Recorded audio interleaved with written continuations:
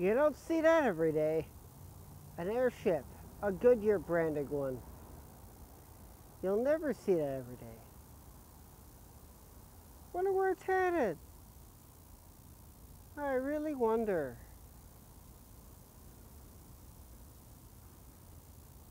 Anyways,